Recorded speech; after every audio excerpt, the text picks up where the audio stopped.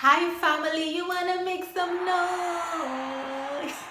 You're welcome back to my YouTube channel. If you're just coming here for the first time, my name is Onozasi and this is the place where you get your sex, relationship and lifestyle content.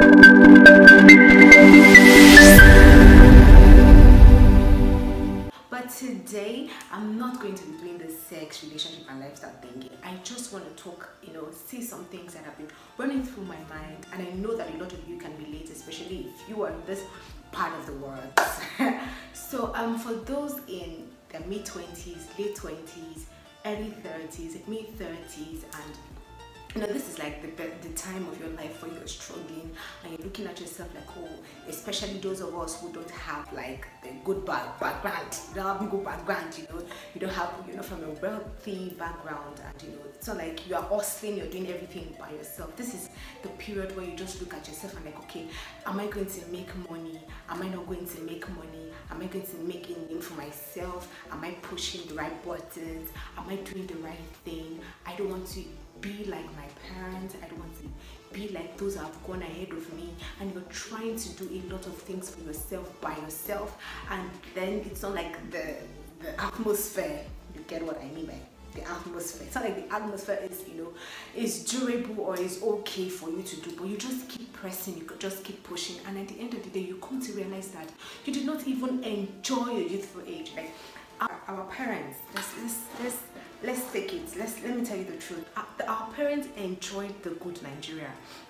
Our parents you know they enjoyed nigeria when nigeria still had things for them. Some of them finished school and immediately they got jobs. They were not you know scrabbling and you know trying to get you know struggling to get jobs and everything. They enjoyed like the good nigeria. A lot of us in fact you know us millennials and generation z we did not like we're born into scatter scatter nigeria. We're born we did not really we did not enjoy like we've not we, we've never we've never enjoyed nigeria. Like we're doing things by ourselves. We're creating jobs by ourselves. We're doing all these connections by ourselves. We're the ones trying to make things done by ourselves. Like nothing has ever been done for us. So there is this burden. Like when our parents were but this you know this age a lot of our parents were married with kids here some of us have, have not even been able to put things together. Some of us are still changing jobs. Some of us are still earning like 30k salary. And you're like okay somebody is now telling you that you should just start small. Start small how? Like how? Do you understand you know? We've never really enjoyed our youthfulness. We we hardly we hardly party. And when we party we just do it once in a while. Maybe when a friend is getting married as well. But you know those days they were going to club on a regular level. They were hanging out and all of that. We try to do these things but at the end of the day you get home you check your account balance. Once you get out like this you are thinking outside is expensive. Spending is expensive. A lot of us are entrepreneurs. We are the ones building our our businesses ourselves. Today we are rich tomorrow we're not. No matter how much investment you try to do no matter how much where is the money? And then you're thinking the time is ticking. I'm not getting any younger. Am i this? Am i that? Are there people that things are working out for? Just a few of us. But at the end of the day you look at it the ratio is not balanced it's almost like and everybody is trying to leave the country. Sincerely everyone is trying to leave the country because they feel like okay the work i'm going to do over there will be commensurate with the reward i'm going to get. And that is it. Sometimes you put in so much hard work. That stream of income that one stream of income that you have in a sense society should be able to cater for your needs to an extent. But here you are you're doing 10 you're doing 11 you're doing 15 you're doing 17 and it's like you're doing nothing. Like you don't have anything. That's how it looks. That is how it is not even how it looks. That is how it is. Like you're doing it. You are the one that will buy generator to start your business. You are the one that will do this. With which money? Then later they see millennials are angry if you were the one you're not gonna be angry. You're not gonna be angry. You're not gonna be angry. You're gonna be angry because it's like your tide is you're you're just working against the odds. The odds are against you. The odds is just against us. We're here thinking you know one day i was i was checking through and i'm like okay i have people like me we're breadwinners okay? Circumstances and all of that has made them feeling to position of mother of the family, father of the family, okay? And then you look at your income. It's not even as much as what you spend. So you have to every time your hobby, you have to think of how you're going to, you know, negotiate, do this, do that. And sometimes some of these older people look at you and they're like, you don't even know what you're doing. And I'm like, do you even know what I'm doing? Like, do you have an idea what I'm doing? I feel like a lot of us have the, a lot of us young generation have the experience, like life has, has thrown to us what the adults the older adults do not even understand. Like if I sit down, if I sit some people down to tell them, see this is what a lot of us are going through, or even if I tell you my story, like oh, you're just at this age, at this age because life wasn't, we were not born into that life. We and we are just here thinking, can we ever, like, can we ever be fine? I'm going to tell you the things that I told myself when I was thinking about this. And those things are you're just going to do your best. But we all, all of us, we're just going to do our best. We're just going to be hopeful that everything is going to be fine at last. We're just going to pray that the sun shines on us.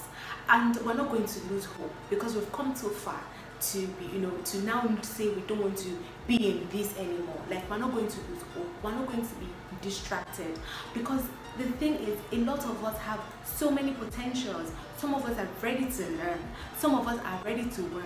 But it's just like you're not giving the chance to really explore the things that you want to. And the thing is most of these people don't even understand that we need the money. We're not even talking about needing the money for frivolous things we actually need the money. We need the money to pay bills. Some of us are paying school fees. Some of us are paying house rent. Some of us are running businesses and everything. And you know some of us are entrepreneurs.